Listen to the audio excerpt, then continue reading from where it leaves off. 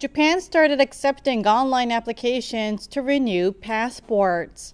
Passport holders were previously required to visit prefectural offices, a procedure that could take hours. But they can now apply for the process online by using the My Number personal identification card. 16 prefectures, including Saitama and Osaka, will allow online applications for new passports as well.